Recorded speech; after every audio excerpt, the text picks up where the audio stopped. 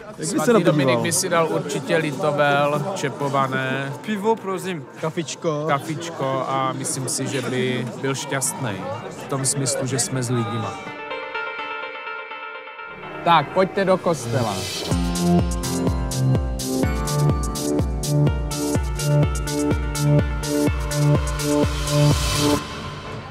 Ale my se omlouváme, snesete to.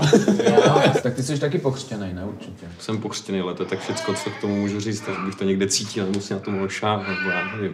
Kurňa, jako já ti řeknu, že jako spíš jsme si to zkomplikovali tou vírou. Řeším, tak jako i když jsem nebyla v klášteře. Jakýkoliv hřích může být dopuštěný, když člověk chce se vydat na tu cestu za Bohem. Co to je ve vás, co to je v nás, co je nespokojenost s tím, co jsme špatného udělali.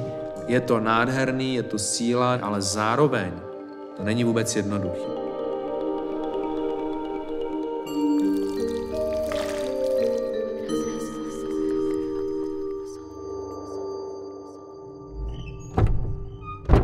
Ale prostě Dominik to žene. Ty psy jako chce mít v tom světě a aby štěkali. I když jsou třeba zablešení někdy.